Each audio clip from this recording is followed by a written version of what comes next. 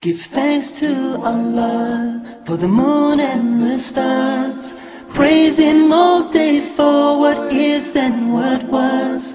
Take hold of your Iman, don't give in to Shaitan. Oh, you who believe, please give thanks to Allah.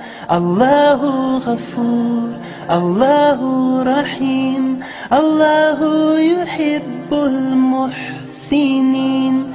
هو خالقنا ورازقنا وهو على كل شيء قدير Allah is غفور Allah is رحيم